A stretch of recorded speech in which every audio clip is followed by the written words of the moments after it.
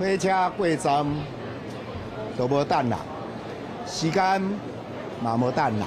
摆明了再瞧不拢蓝白拖也没意思。传出侯友谊下最后通牒，礼拜五没结论就免谈。那柯文哲要上车吗？政党与政党合作嘛，从那个政策纲领到总统选举。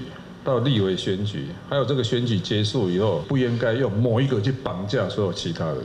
登记日逼近，不但没有堆叠善意，还越来越消极。但柯文哲前一天可是在脸书发文，整合即便看似触礁，大家不用担心。经过几次会谈，我跟朱主席都认同台湾必须进行第三波民主革命，更说只要方法公平、符合程序正义。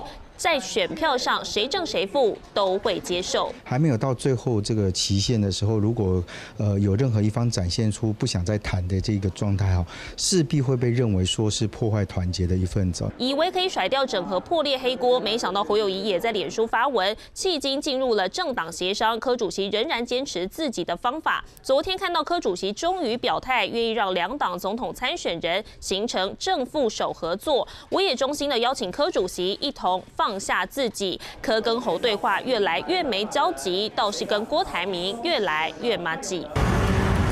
柯文哲的坐车开出郭台铭新义区的住处，二号中午，柯郭两人挤出时间进行一点五小时的午餐约会。有时候有空会去找郭董，就是问一下这种财经议题。中午是吃素哎。煮素菜给我吃。